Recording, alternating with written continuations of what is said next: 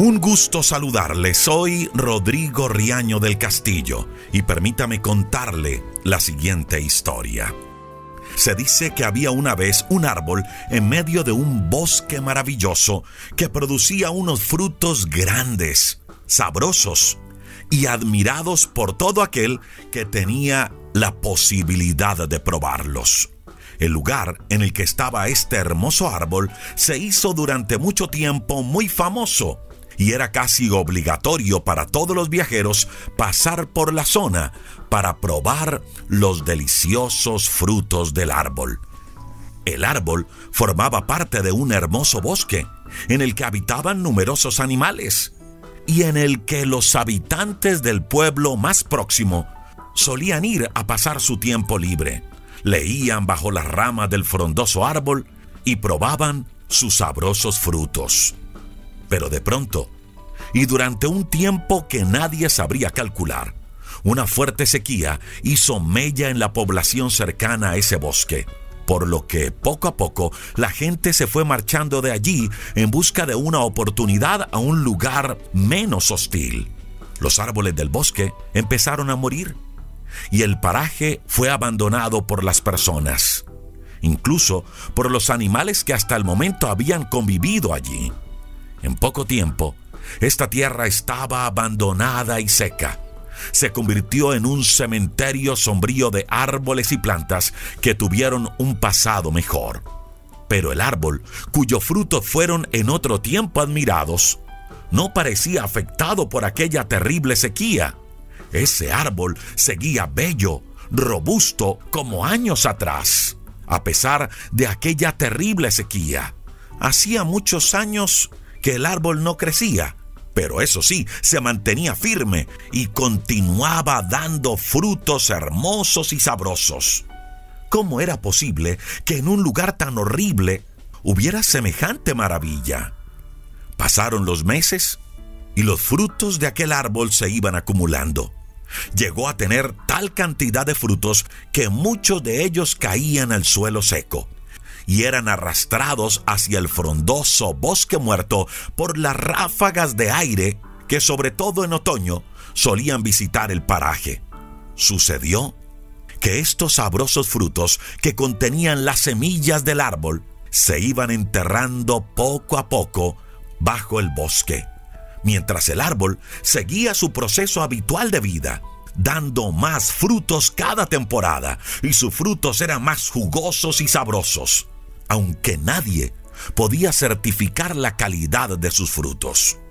Aunque nadie le admiraba, allí estaba, haciendo su trabajo, dando buenos frutos.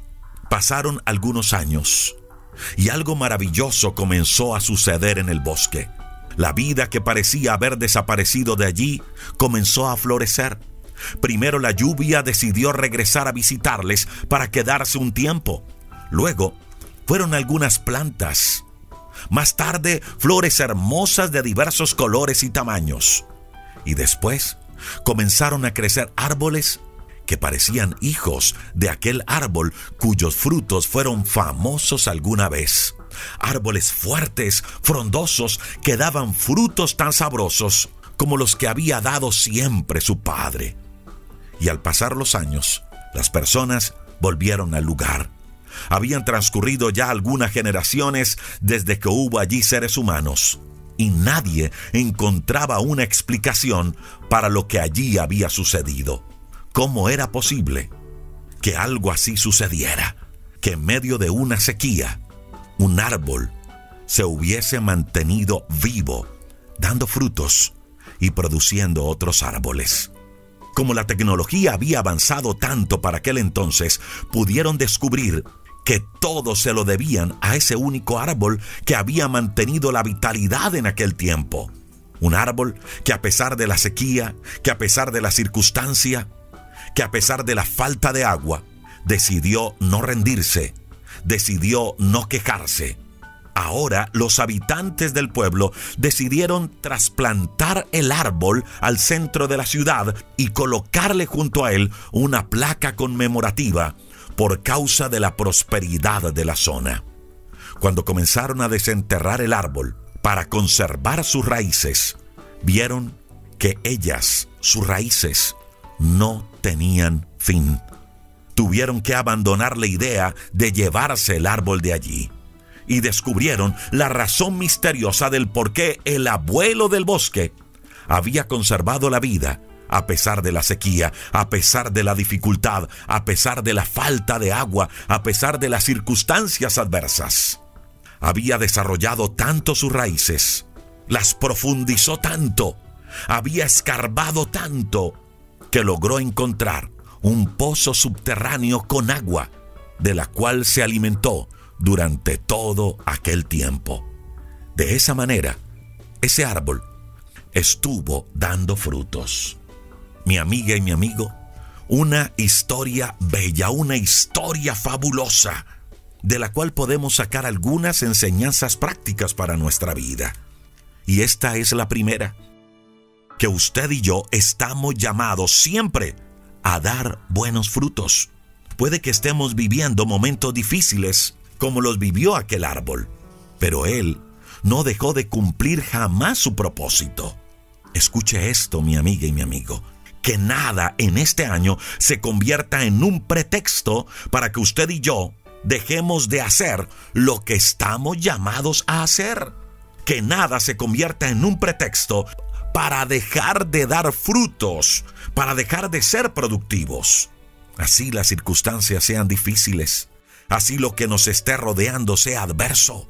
Usted y yo estamos llamados a dar fruto. Mire, lo que le voy a decir suena duro, pero es una gran verdad. Jesús en Mateo capítulo 7, verso 19, dijo que todo árbol que no da buen fruto será cortado y echado al fuego. Mateo 7, 19 y el verso 20 dice que por nuestros frutos seremos conocidos. Repito, así estemos viviendo tiempos difíciles, así estemos viviendo tiempos de sequía. Ahora, en nuestra historia de hoy, mirábamos el gran secreto del árbol para dar frutos.